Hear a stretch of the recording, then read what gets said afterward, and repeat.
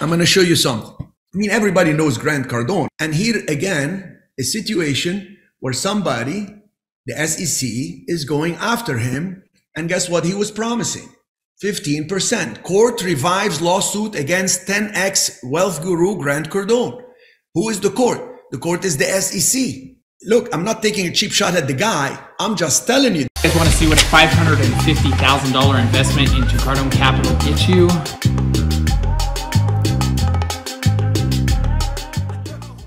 I am seeing projects to invest in for 17% returns. What are your thoughts about investing in these apartments? Many of them are through crowdfunding or syndications. What type of questions should I be asking before investing?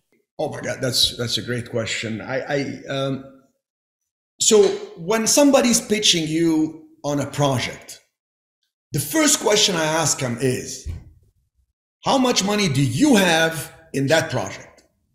I'm a fund manager. I got millions of my own money. As of last account, I had over $8 million in the real estate fund. That represents over 40% of the money that w- was raised. I get the loans under my name with my guarantee, personal guarantees. That means I can lose everything I have in my fund. Okay. No other fund managers do that. I had a guy that was raising millions of dollars for apartment buildings. And in his pitch, I was at an event, I presented, and then I got off the stage and he came up to present. And he said, and somebody asked him, Are you investing in the project? He said, Of course I am. Well, I know the guy very well, and I know his PPM, and I know the attorney that worked with him, and I know that he invested $1,000 in a project that is a $17 million apartment building project. He invested $1,000. Why? So he can stand in front of the audience and says, I'm investing in this. Well, that's BS. That's misleading. That's misrepresentation. The real estate funds filed with the Securities and Exchange Commission are based on what's called full disclosure, not buyers beware. Full disclosure. That means the question was clearly to this guy, are you investing in this fund? And he should have said, yes, I am investing. I invested only $1,000 because, and then he can explain, I'm getting the loans under mine, but he wasn't. He was getting the loans as non-recourse loans. So he put a thousand, gets investors' money into the deal, gets a loan from the bank that's non-recourse. Something goes wrong, he loses his thousand, walks away. The investors lose their money, and the bank is foreclosing now because non-recourse. All the recourse they have is the asset. They're to go dump it. If there is any money left over, SEC is to be involved now to try to distribute for all these people. So ask them first, how much money do you have in the deal? Okay. And ask them in writing. So you always have a backup. Something goes wrong, you go to the SEC. You might not recover much. They'll go to jail. That's your revenge, really. They will go to jail. I mean, believe me, SEC is hot and bothered since uh, COVID. Since 2019, they increased so many of the SEC people. It's not even funny. It's just all they do is uh, constantly do what's called administrative audits, uh, investigations, uh, subpoenas uh, for interviews. They do them on Zoom now. The world has changed. It used to be they have to go to their office. You have to fly in to whatever office or drive to their office by state. Now it's all on Zoom. So they love it. And then they do like this. They say, okay, so we found some irregularities. This is no big deal. Just pay us a hundred thousand and case is closed. But then it will show on your record and good luck raising money anymore.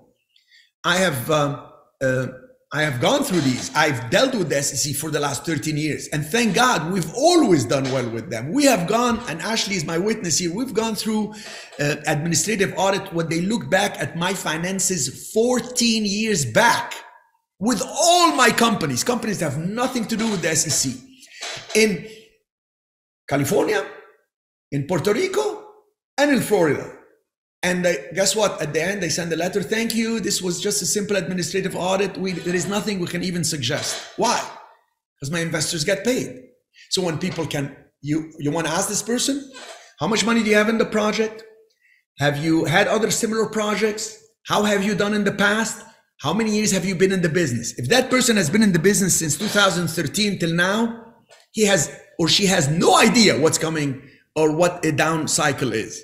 You need somebody who has gone through 2008, 9, 10, 11 when the economy had collapsed. Those people got so burned that now they're a lot more cautious. But remember that those who started most of them started in 2015 when Obama Jobs Act allowed people to set up something called Reg D 506C. And the Reg D 506C allowed people to publicly solicit. And then they overpromise and underdeliver. To offer you 17%, this person is either smoking something or is living in la la land, especially in current market where you cannot get interest rate at less than six, seven percent if you're good and experienced and have a high net worth. Case in point, I'm going to show you something. I mean, everybody knows Grant Cardone. I mean, the guy is is the biggest promoter of funds. And here again, a situation where somebody, the SEC, is going after him. And guess what he was promising? 15%. Court revives lawsuit against 10x wealth guru Grant Cardone. Who is the court? The court is the SEC. The SEC is after him, and you can see it on South Florida magazine. And look, I'm not taking a cheap shot at the guy. I'm just telling you, the guy offered 15%, which is not 17. And he is huge. And he was getting 3% interest rates. He was getting amazing interest rate. Can deliver, can pay, can even pay them 10%. And they went first round with him during COVID because he said, told the investors, I can't pay you. I can't pay you. The renters are not paying me. And then they worked it out because he made up for the money a little bit and then can't deliver. Now he's coming out of properties and he's barely able to pay the investors. So the SEC's after him again. So to offer you 17%, um, it's confusing because they're going to put it as IRR. IRR is internal rate of return instead of ARR, which is annual rate of return. So they mislead you with some initials, which is very hard for you to calculate. How would they know what your internal rate of return is? They don't know what how much you pay in taxes. And they get you into these deals, and now you want to get out. They say, "Well, you can avoid the taxes if you stay with us in the next deal, etc." So they get you in. They don't pay you enough. They say, "We'll make it up to you in the next deal," and you get suckered into long-term things. I went off on a tangent to tell you, understand who is behind the deal? What is the deal about? Look at the numbers. I'm happy as a pro bono thing. You can send us the PPM. I'll analyze the heck out of it and tell you my opinion at no, no charge whatsoever. Just curious to expose a 17%. Like, give me a break.